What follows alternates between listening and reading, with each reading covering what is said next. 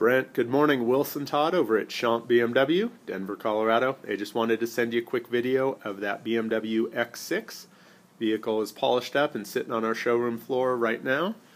Excellent uh, equipment in it. The seats that we talked about with the uh, multi-contour definitely be very comfortable for the wife.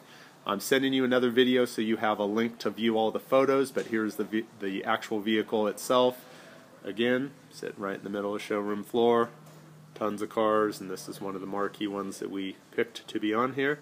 Uh, does have running boards and the nicer rim, big motor, 400 horsepower, 400 pounds of torque. We'll talk to you soon. Thanks.